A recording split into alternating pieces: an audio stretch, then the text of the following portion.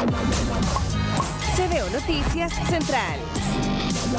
¿Qué tal? Muy buenas tardes, bienvenidos y bienvenidas a una nueva transmisión de CDO Noticias, edición central. Y nosotros, como siempre, comenzamos esta revisión informativa con los titulares. La Liga A1 tiene finalistas. Murano versus Colo Colo y Murano versus UDEC disputarán las coronas en damas y varones respectivamente del vóley piso nacional. Y Chile al Mundial de Balón Mano, la selección nacional terminó en el tercer lugar del Centro Sudamericano disputado en Buenos Aires.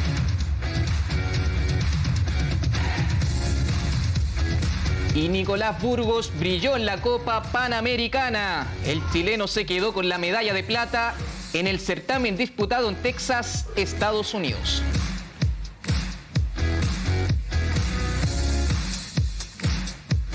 Un gusto como siempre saludarles a esta hora de la tarde. Nosotros comenzamos esta revisión informativa con el básquetbol porque durante este fin de semana se disputó una nueva jornada de la Liga Jugabet by Cecinas Yanquiwe. Así es, ya es el segundo fin de semana de esta Liga Jugabet by Cecinas Yanquiwe que se disputó con dos emocionantes partidos por las pantallas del CDO en el inicio de la nueva fecha el CD Valdivia cayó ante Colegio Los Leones tras un agónico doble de Ignacio Carrión cuando corrían los últimos segundos del encuentro. El mismo Carrión fue el MVP jugabet del partido con seis puntos, tres rebotes y dos asistencias. Darrell Jones también tuvo una gran noche con 18 puntos, 9 rebotes y cuatro asistencias. En la segunda jornada de este fin de semana, el equipo valdiviano recibió en la catedral a Basket UC. Finalmente, el elenco local se llevaría la victoria por 85 a 71 con Eric Carrasco como el MVP con 7 puntos, 9 rebotes y 7 asistencias. Pasemos a continuación a escuchar reacciones de lo que fueron estas jornadas de la Liga Nacional de Básquetbol a través de CDO Noticias. Eh, feliz, feliz de haber dejado el triunfo, era, era una de las salidas duras que, nos tocaba al principio de la liga, así que feliz de haber ganado aquí en Valdivia, que es una de las arenas más duras de, jugar en el país. Sí, sí, sabíamos que iba a ser un partido duro, sabíamos que, el partido iba a pasar por ahí por la defensa, creo que estuvimos ahí un poco al debe, regalamos muchos puntos fáciles y, eso nos hizo complicar el partido. Eh, mantuvimos la intensidad en, lo que fue el tiempo extra, así que feliz de haber dejado el triunfo. Sí, un partido un poco complicado. Eh, yo creo que entramos todavía pensando en el, partido ayer, de la, en la derrota que tuvimos por un punto.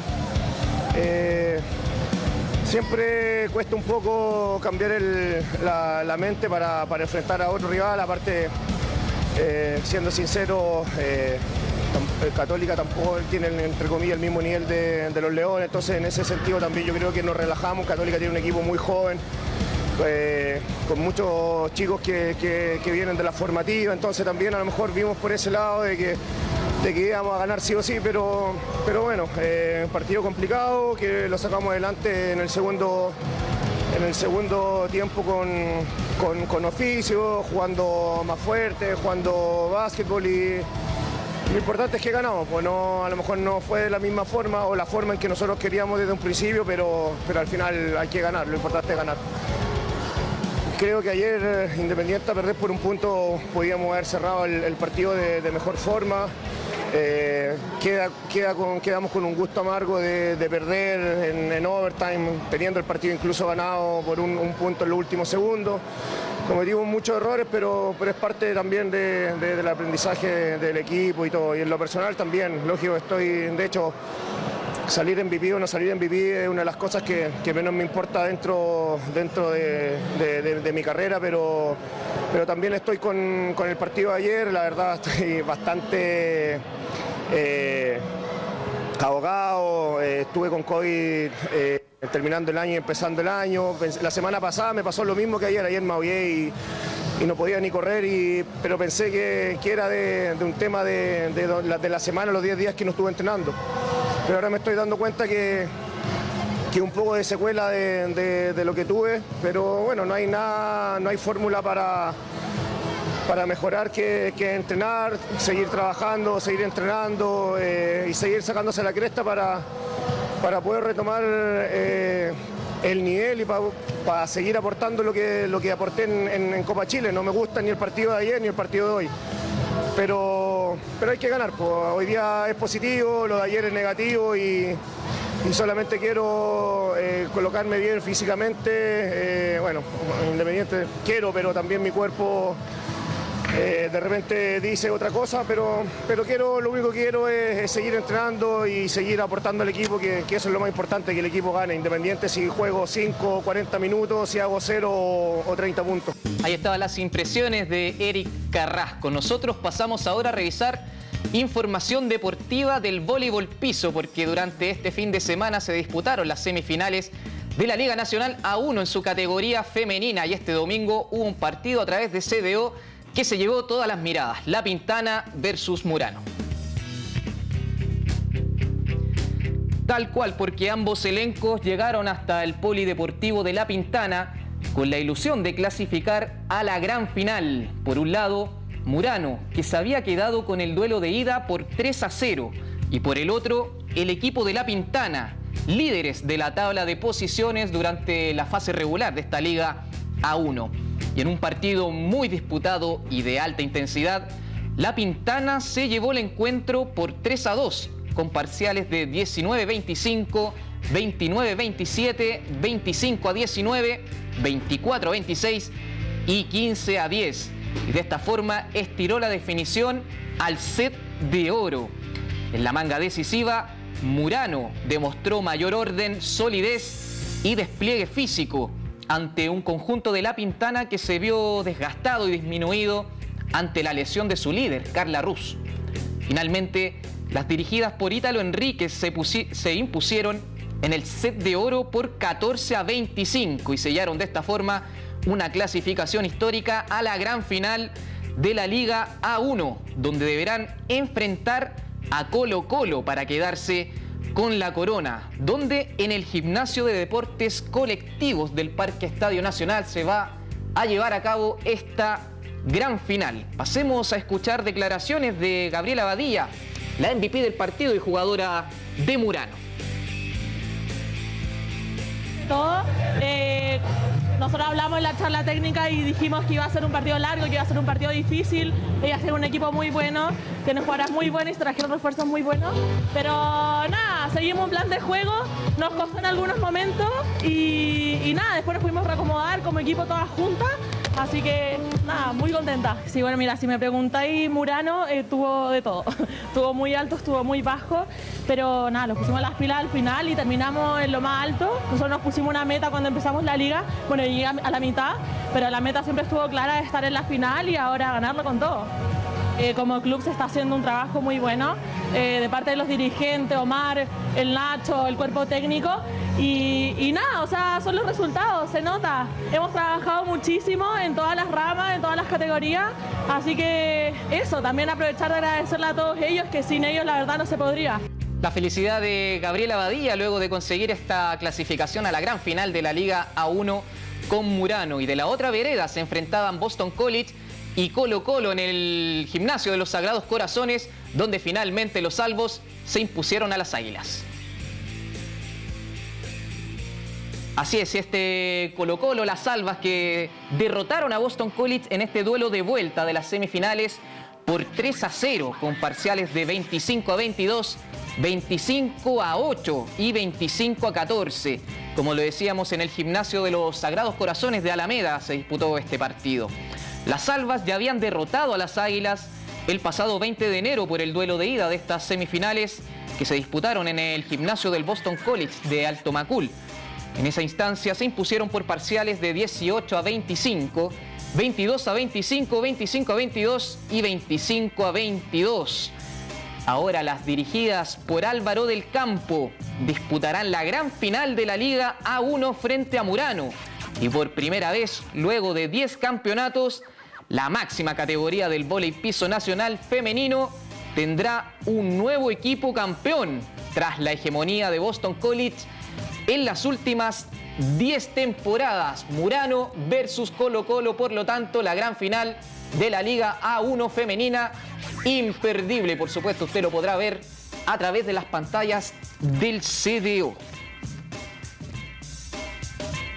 Vamos a ver ahora información de otras semifinales de la Liga A1, pero en esta vez en categoría masculina, porque por el duelo de vuelta de estas semifinales, el equipo de Murano también clasificó a su segunda final consecutiva, luego de imponerse por 3 a 0 ante Universidad Católica en el gimnasio del Colegio Cumbres, con parciales de 25 a 17, 25 a 13 y 25 a 18.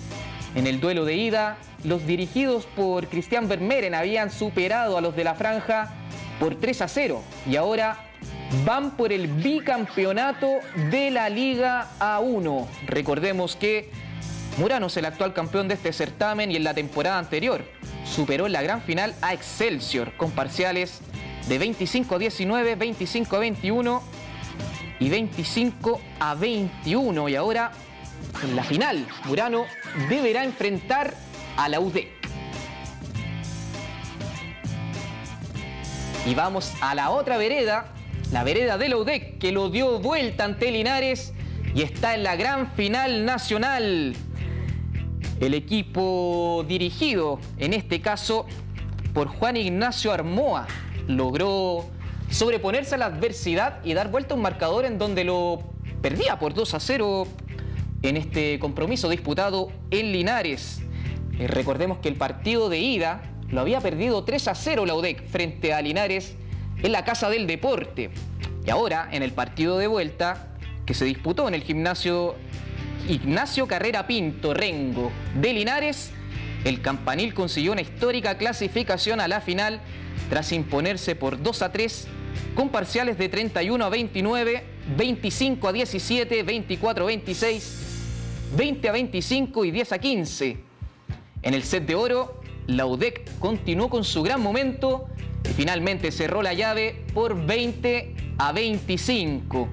Como lo decíamos ahora, los dirigidos por Juan Ignacio Armoa deberán enfrentar en la final al actual defensor de la corona, que es Murano, en el gimnasio de deportes colectivos del Parque Estadio Nacional. Nos mantenemos en el voleibol, pero voleibol playa, porque este fin de semana comenzó el circuito nacional 2024 en Peñalolén. En damas, Cris Porpal y Fabiana Aires se quedaron con el primer lugar de la primera etapa tras vencer en la final a Nico Piña y a Marelis Marchela. El bronce fue para el binomio compuesto por Natalia de Pacier y Josefina Vélez.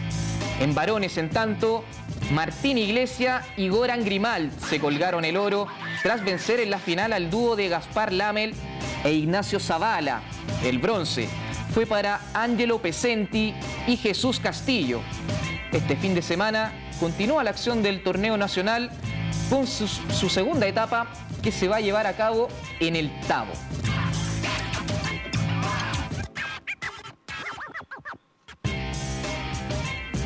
Nosotros nos separamos un breve instante y ya continuamos con más revisión informativa, acompañados siempre del Team Chile. Háganse socios en www.teamchile.cl y acompañen a nuestros deportistas en su camino a París 2024. Además, llévese gratis la camiseta de la selección de todos los deportes. Pausa y ya regresamos con más CDO Noticias, edición central.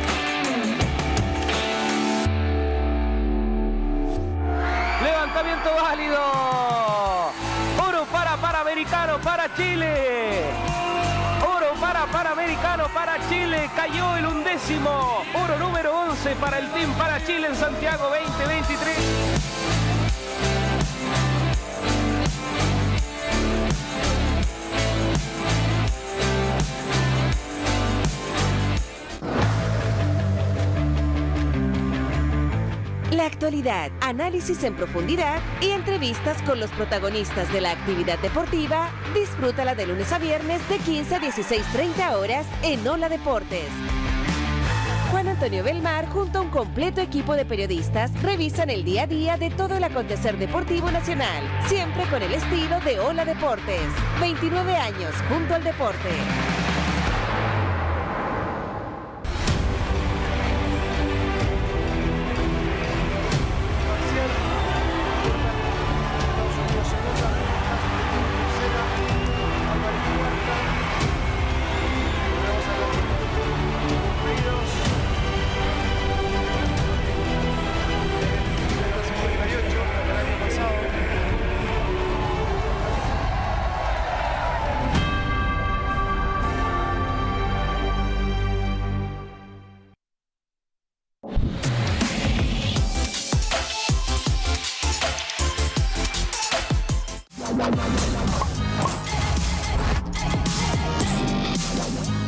De regreso en CDO Noticias, edición central acompañados de Mitre. Encuentra una completa gama de productos para fútbol con Mitre.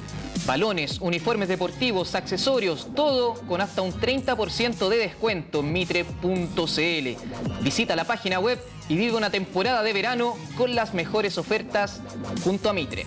Nosotros continuamos esta revisión informativa con excelentes noticias que nos llegan del balón mano porque Chile clasificó al Mundial de 2025. Finalizó este centro sudamericano de balón mano que se disputaba en la Casa del Balón Mano de Buenos Aires, Argentina, donde Chile clasificó a su octavo mundial consecutivo. El elenco dirigido por Aitor Echaburu cerró el certamen de gran manera venciendo a Uruguay por 29 a 18 en su último partido del torneo. Con el cupo asegurado, la selección chilena extiende su gran momento histórico tras clasificar consecutivamente a los mundiales de la disciplina desde 2011 a la fecha. El próximo mundial se jugará el 2025 en Croacia, Dinamarca y Noruega.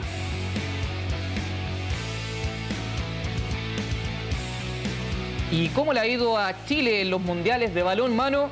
Bueno, hasta ahora, en esta racha de siete mundiales ya disputados para esta selección masculina, la cita planetaria de 2019 fue sin duda la mejor para los chilenos.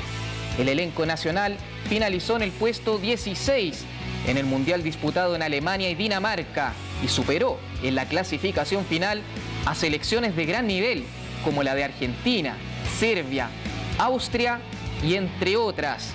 También destaca el Mundial de 2017 jugado en Francia, donde Chile se quedó con el lugar 21 del certamen. En 2011 Chile obtuvo el puesto número 22. En 2013 y 2015 el puesto 23.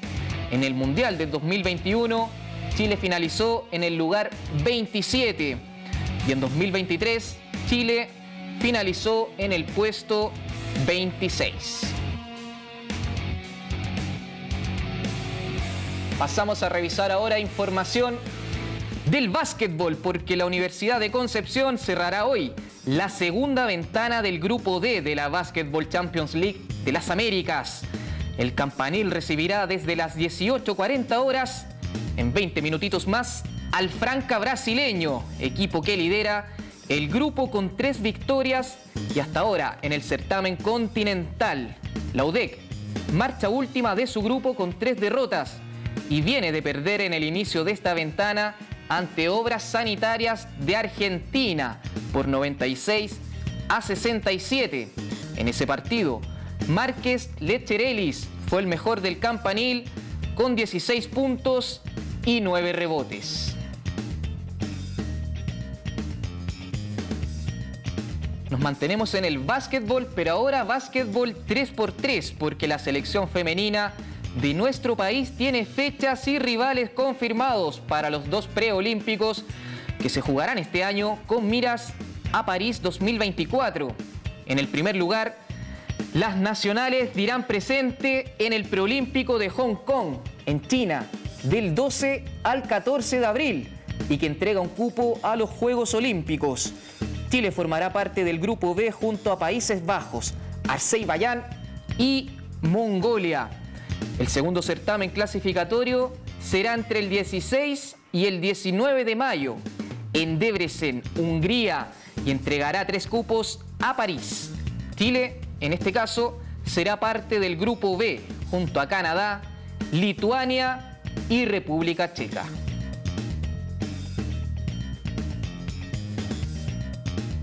Nos vamos ahora a información del hockey césped, porque este domingo 21 de enero los Diablos disputaron su último encuentro en el preolímpico que se desarrolla en Omán ante la selección de China. La selección chilena de hockey césped masculino se despidió de este certamen con una ajustada victoria ante los asiáticos, que se definió en los últimos minutos eh, con una tanda de penales tras igualar 3 a 3 en el tiempo regular. José Pedro Maldonado anotó el gol definitivo para Chile y Raimundo Valenzuela, por otro lado, fue escogido como el jugador del partido. Con este resultado, los Diablos se quedaron con el séptimo lugar del preolímpico disputado en Oman. Nos mantenemos con el hockey césped y saltamos a las Diablas porque tras conseguir un triunfo ante República Checa en su último compromiso del preolímpico que se disputaba en India, la selección chilena femenina de hockey césped se despidió de la ciudad de Ranchi y luego, tras 48 horas de viaje, aterrizaron esta mañana finalmente en Chile. Las Diablas llegaron a Santiago y se despidieron del sueño olímpico de París 2024 tras obtener el séptimo lugar en el certamen que se jugó en el continente asiático.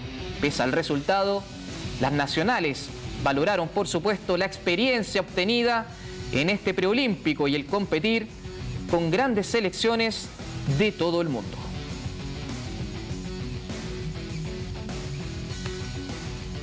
Nos vamos ahora a noticias del golf, porque Joaquín Niman sumó otro gran fin de semana y finalizó cuarto en el clásico del desierto de Dubái. El talagantino finalizó el certamen con un registro total de 10 golpes bajo el par de la cancha en el acumulado tras las cuatro jornadas. Niman había tenido un inicio lento de campeonato con un menos 3 en la primera jornada y par en cancha el día viernes.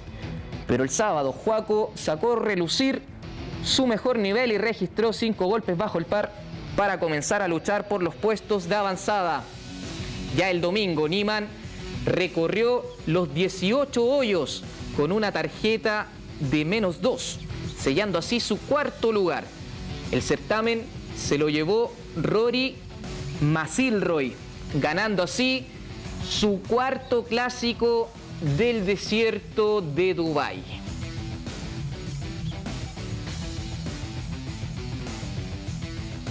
Vamos ahora con grandes noticias también que llegan desde Estados Unidos, desde Texas, porque durante la jornada de este domingo en la localidad de Corpus Christi se definieron los títulos de la Copa Panamericana de Tenis de Mesa, con el chileno Nicolás Burgos como protagonista. El Nacional se enfrentó en la final al canadiense Edward Lee quien demostró categoría en la primera manga y se impuso ante el Nacional por 2 a 11. Nico Burgos logró componerse y dar lucha ante el representante de Canadá. Sin embargo, cayó en parciales por 10 a 12, 10 a 12, 8 a 11 y finalmente se colgó la medalla de plata de esta Copa Panamericana.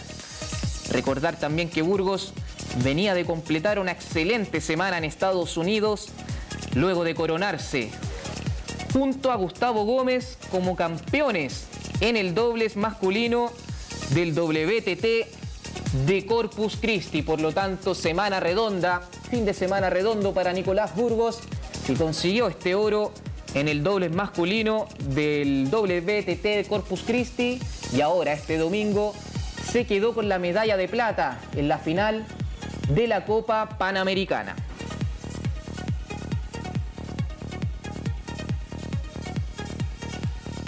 Vamos ahora a revisar información del tenis porque conversamos en exclusiva con Daniela Seguel sobre sus proyecciones, sobre su temporada, lo que le dejó también esta United Cup disputada junto al Team Chile eh, encabezado por Jaime Fillol. Bueno, de eso, de más, sobre su posible retiro que había anunciado. Bueno, todo eso y los detalles los revisamos a continuación en la siguiente nota.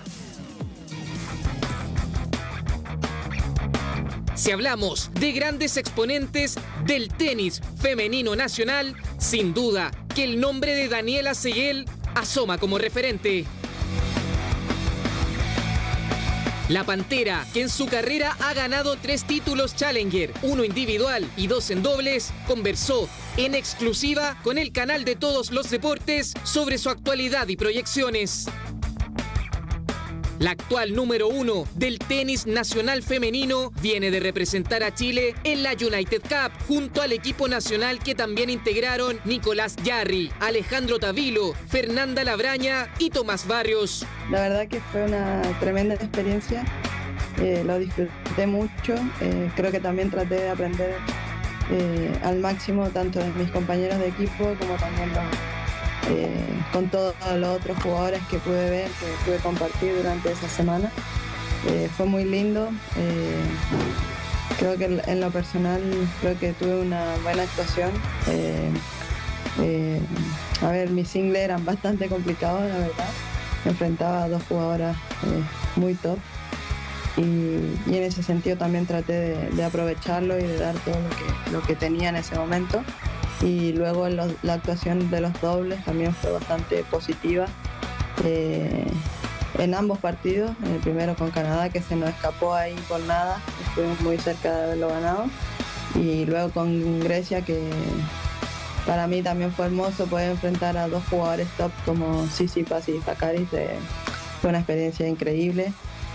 Precisamente con el tenista oriundo de Chillán y la dirección de Jaime Fillol, cosecharon un triunfo histórico en dobles mixtos ante Grecia, frente a la dupla conformada por María Zakari y Stefano Tsitsipas, ambos jugadores top 10 en singles.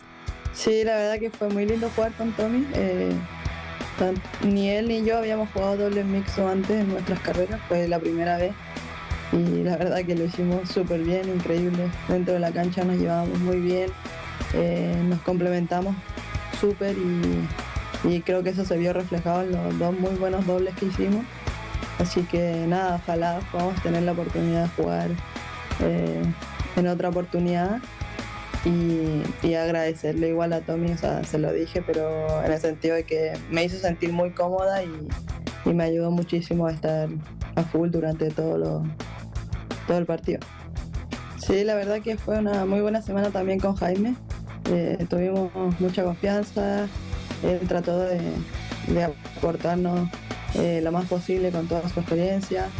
Eh, trabajamos ahí algunos detallitos puntuales y, más, que nada ayudarnos a, cómo afrontar esta oportunidad y este desafío que era para, para, sobre todo para mí y para Feña también, que estábamos viviendo algo de, competir con, con los mejores del mundo.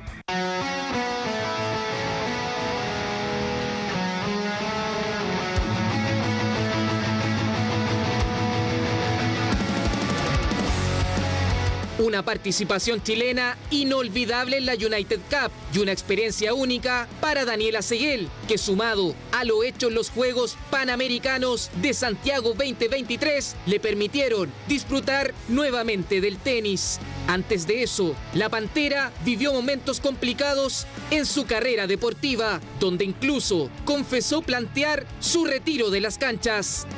Sumó creo que muchísimo en todos los sentidos. Eh, eh, como te decía, es una, unas semanas que aproveché al máximo, que, que disfruté mucho, que aprendí mucho de lo que vi, eh, que me deja con muy buenas sensaciones para, para lo que viene durante el año, porque realmente creo que lo afronté bastante bien. Eh, pensando también en, en, claro, lo que, lo que comentaba, yo el año pasado me había dado como máximo un año y, y la posibilidad era concreta de haberme retirado después de los Panamericanos. Eh, por suerte eh, eso cambió porque a mitad del año pasado sí que es verdad que empecé a disfrutar de nuevo del tenis y, y estoy con otra ilusión, con otra energía. Eh, y obviamente después de, de, eso, de como un renacer deportivo, en ese sentido, de, de poder volver a disfrutar dentro de una cancha de tenis, eh, que era lo más importante para mí, lo que estaba buscando. Eh, en lo, justo en los últimos meses se juntaron cosas positivas como los Juegos Panamericanos, después la Copa LP Open en Chile, donde también pude jugar la final del doble.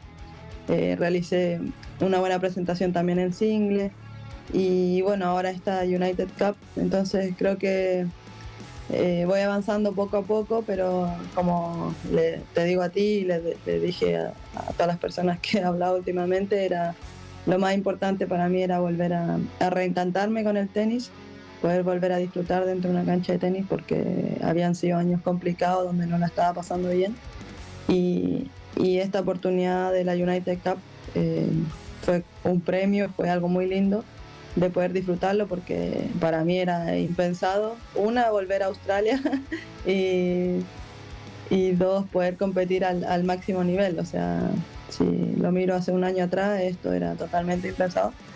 Y obviamente que esto es una motivación y un impulso que espero aprovechar durante este año para tener un, mejor rendimiento a nivel deportivo y que pueda seguir reencantándome con el tenis.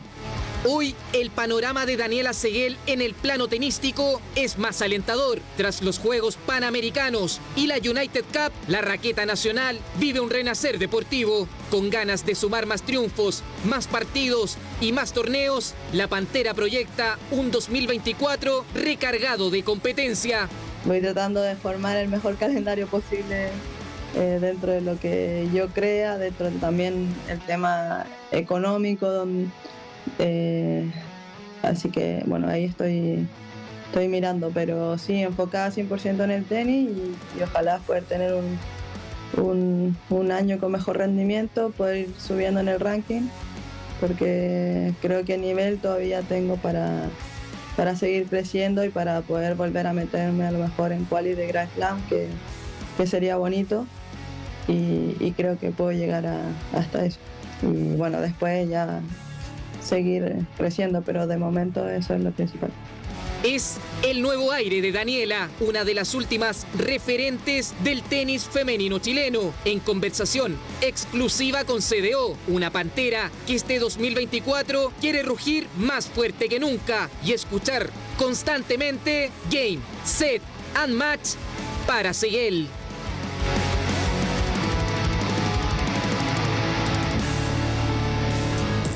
Ahí estaba toda la actualidad de Daniela Seguel, la representante nacional del tenis chileno. Nosotros nos vamos a una pausa acompañado de McGregor, que es tradición de estilo, calidad y funcionalidad en cada prenda. El espíritu de un nuevo estándar. Visita su colección exclusiva en macgregor.cl. Pausa, ya regresamos con más CDO Noticias, edición central.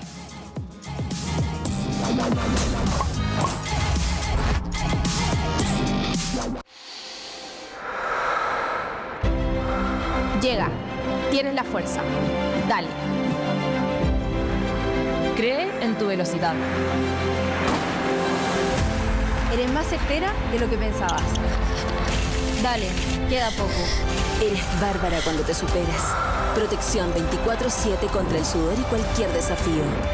Eres bárbara cuando te atreves. Lady Speed Stick, la protección oficial del Team Chile.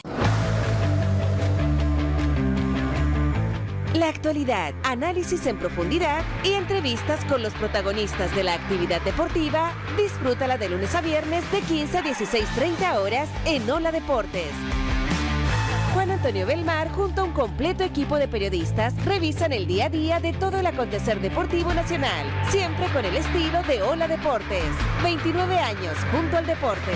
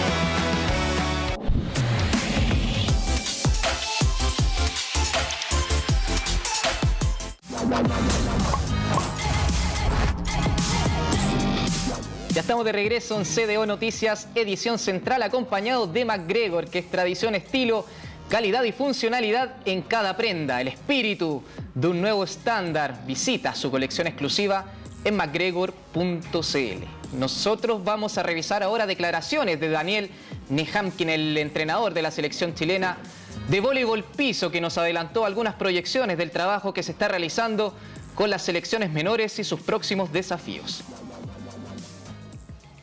No, hay descansos para posiblemente para alguna categoría, que son lo- los adultos que están o jugando la liga, muchos de ellos, eh, y también otros tantos eh, jugando en el exterior. Después las, selecciones de base, eh, continúan entrenando todos los días, así que seguimos adelante. Acá lo que estamos viendo es una selección me- sub-17, me dijo, preparándose para un sudamericano sub-19, ¿no? Correcto, es la próxima selección que va a jugar este año, todavía no tiene fecha ni lugar, el Sudamericano Sub-19, que otorga tres plazas para ir al próximo Mundial de la categoría. Esta selección es la que jugó la Liga 1, ¿no? Algunos de ellos jugaron la Liga 1, otros son jugadores que no, que no estuvieron en esos equipos, eh, algunos porque integraban el O2 de la Liga eh, y otros porque eh, la selección va renovando todo el tiempo a sus jugadores. Eh, vamos, seguimos buscando jugadores, entonces eh, vamos cambiando y mejorando el biotipo del plantel. Daniel, quizás voy a preguntar de ignorante, pero no me quiero quedar con la duda, porque hablamos de un sudamericano sub-19, pero que esta selección sub- sub-17 están dando ventaja en la edad. No, no, no porque eh, eh, es, es difícil de explicar. Eh, se llama Sudamericano Sub-19, pero en realidad es Sub-18. Y en realidad tienen que jugar con 17. Eh, todo pensado eh, en, el, en- en el próximo año o en el año posterior a que se juegue el sudamericano, poder jugar con aquel plantel que clasificó para el mundial específico. En ese sentido, me imagino las expectativas de ustedes van a ser eh, estar peleando ahí el Cupo al Mundial.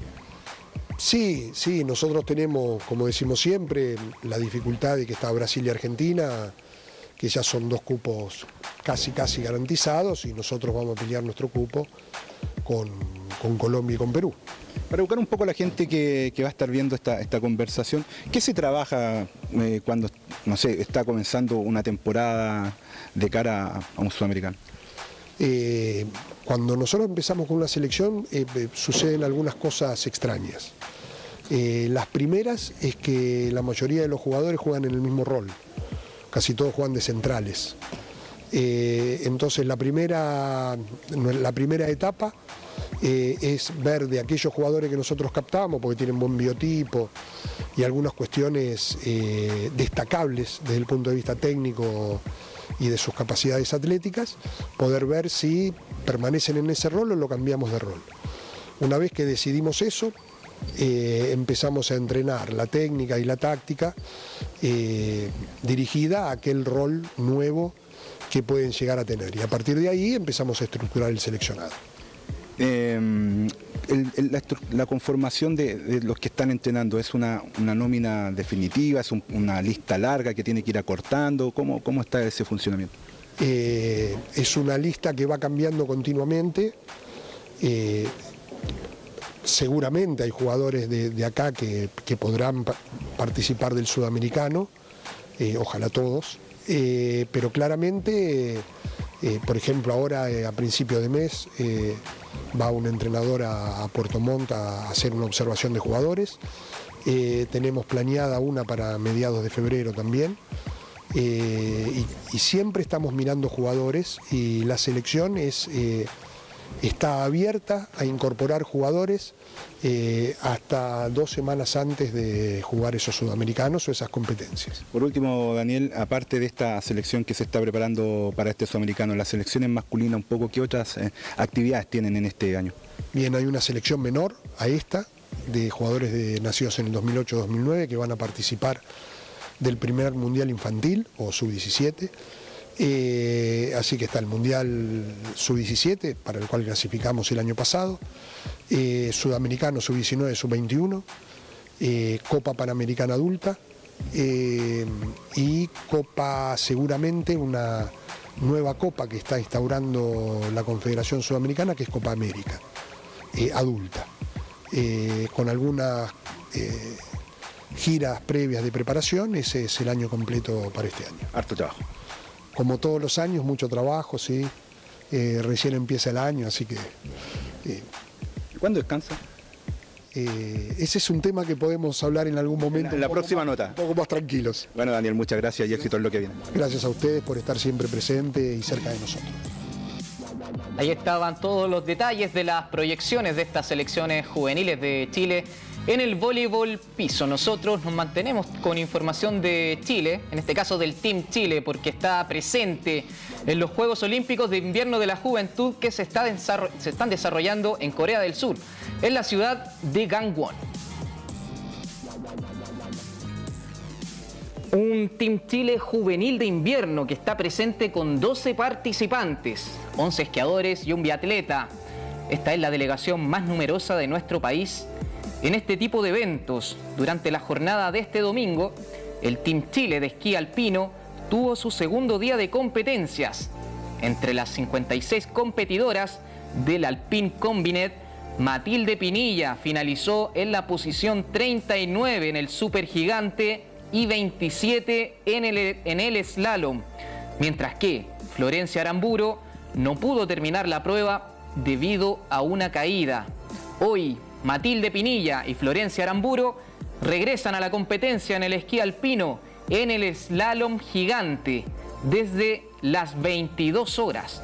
Aymara Biel hará lo propio en el esquí freestyle desde las 23 horas en el, esquí, en el esquí cross. Esa es la modalidad. Al igual que Clemente Costa, Max von Hunger y Renata von Hunger también estarán ahí en el esquí freestyle en el esquí cross desde las 23 horas. Mañana martes, desde las 1.30 de la madrugada, Valentina Mercado verá acción en el biatlón en el esquí cross.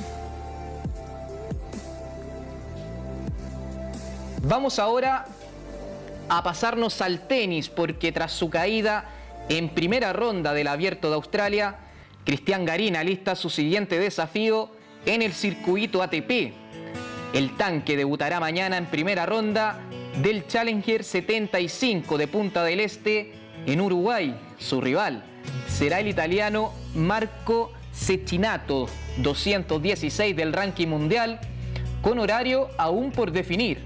Cabe destacar que Gago es el segundo sembrado del torneo. Además que Tomás Barrios también está en el certamen uruguayo. El Tillanejo, tercer sembrado, está a la espera de su rival, que entrará al cuadro principal vía Quali.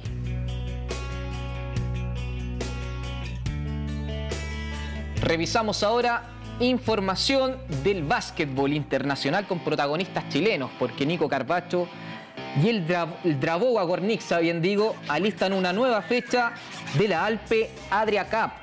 El elenco del Nacional se enfrentará mañana al Kampfer, Kampfenberg por la séptima jornada de la fase de grupos del certamen de Europa del Este, Kampfenberg. Es el rival entonces a vencer. Por ahora, los de Carbacho marchan segundos en el grupo A con cuatro victorias, dos derrotas que se traducen en 10 unidades, 10 puntos. Cabe destacar que el, el viene de una ajustada derrota por la Liga Polaca ante el Anwil por 87 a 84. El Nico registró 7 puntos, 9 rebotes y 2 asistencias en dicho encuentro. Nos pasamos a ver ahora información de Seba Herrera que está de vuelta en la rotación del París Basket y salista para fecha de la Eurocup. El equipo parisino se medirá ante el Juventud Español por la jornada 16 de la fase de grupos del certamen continental. Por ahora, la Eurocup ha estado llena de alegrías para los de Herrera, ya que marchan primeros del grupo A con 14 victorias y solo una derrota. El Juventud, en cambio, marcha cuarto con 10 victorias y 5 derrotas. Los capitalinos vienen de vencer la semana pasada al Apoel Tel Aviv, el equipo israelí, por 104 a 86, con 5 puntos, 2 rebotes y 4 asistencias del chileno. Recordar que Herrera sufrió una lesión en diciembre pasado y está retomando la actividad tras algunas semanas sin actividad.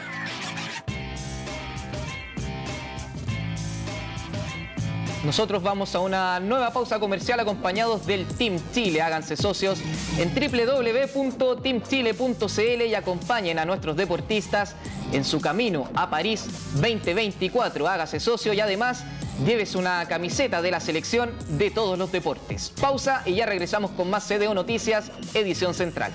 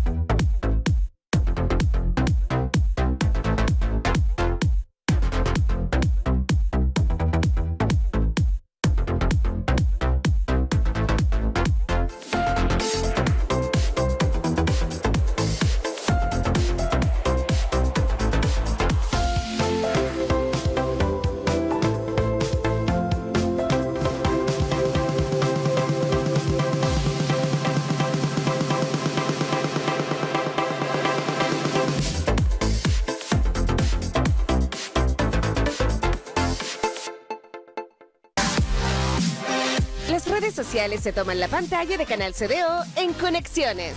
De lunes a viernes, en vivo, de 17.30 a 18 horas. Interactúa con nosotros y acompáñanos a conocer más de los deportistas chilenos desde otro punto de vista. Y yo creo que por lo mismo me adapté tan rápido, porque vengo de velocidad a un deporte que es rápido. Lunes a viernes, a las 17.30 horas. Conexiones en Canal CDO.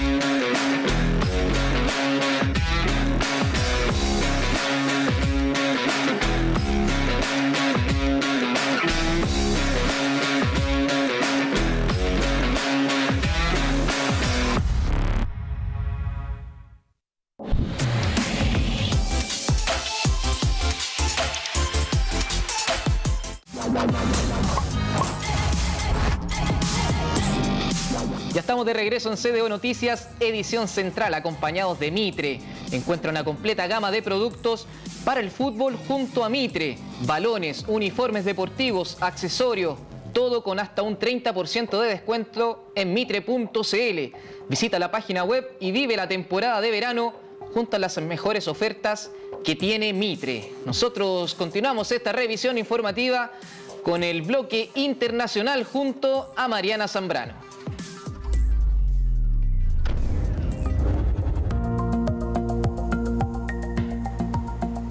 Muy buenas tardes queridos amigos, un gusto saludarlos y feliz inicio de semana para todos.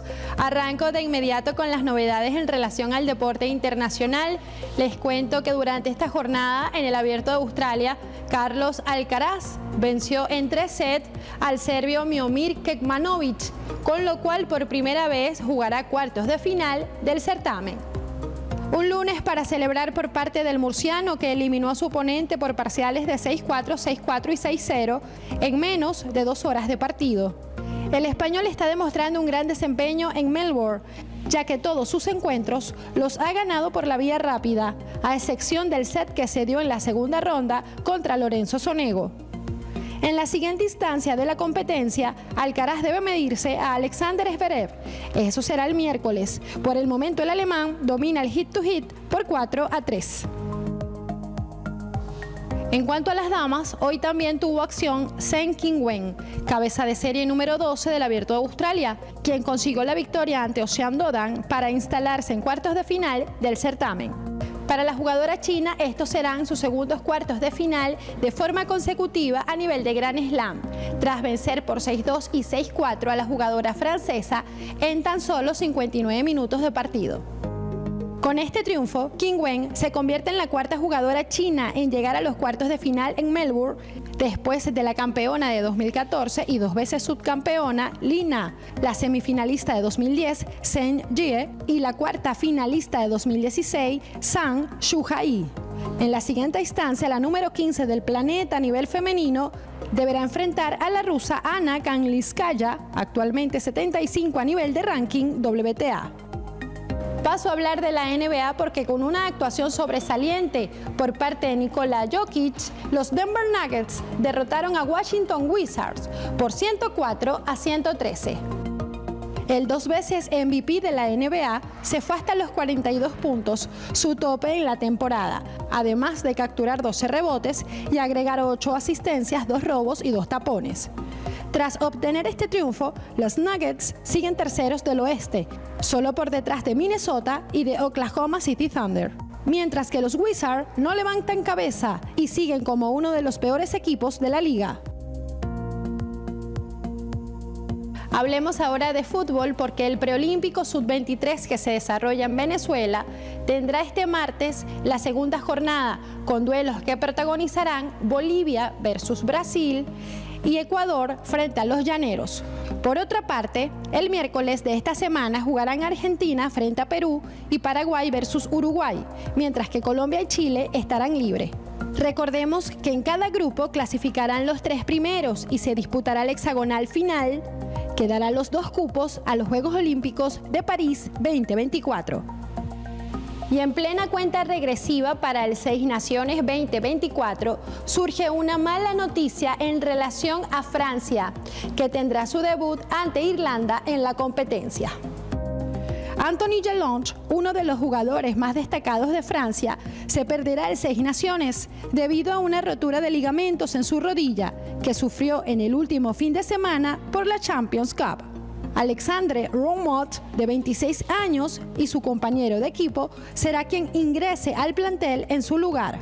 En 2023, John Launch sufrió un episodio parecido, pero logró ser parte de la Copa del Mundo. Incluso fue el capitán del seleccionado ante la ausencia de Antoine Dupont en la fase de grupos. En cuanto al certamen, el partido inaugural entre Francia e Irlanda será en el Reino Unido el viernes 2 de febrero. La acción de la primera fecha continuará el sábado, con Italia recibiendo a Inglaterra y Escocia jugando de visita en Gales.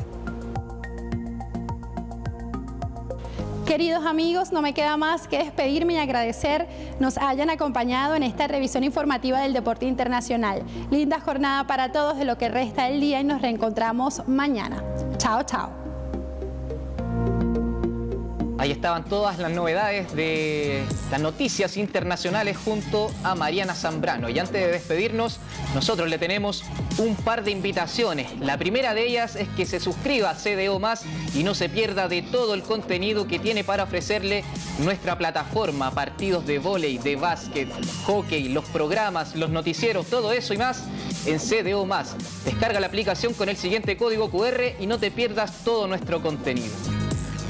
Y además les comentamos que háganse socios del Team Chile en www.teamchile.cl y acompañen a nuestros deportistas en su camino a París 2024. Ingresa al sitio web, hazte socio y llévate gratis una camiseta de la selección de todos los deportes. Con estos dos anuncios y estas dos invitaciones nosotros nos despedimos de CDO Noticias Edición Central y nos volvemos a reencontrar en una nueva jornada el día de mañana. Buenas tardes.